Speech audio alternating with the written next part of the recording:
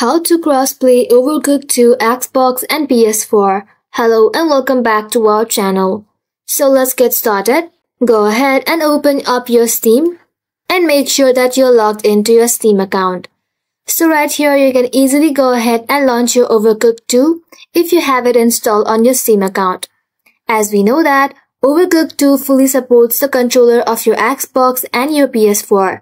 If you head to Team 17 and search for it, you'll find that Overcooked 2 is available on Nintendo to Switch PlayStation 4, Xbox One, and Steam as well as the PS5 and Xbox series. You can also cross-play between Xbox and PS4 for that, you have to invite your friends. You can easily do that by tapping on the settings option and heading to invite friend option right here. Just go ahead and enter the player card or player tag of your friend and make sure your friend is online. And also they are using a console of Xbox or PS4. If your friend is trying to play using their PC, you will not be able to crossplay. So make sure that the both of you are using consoles.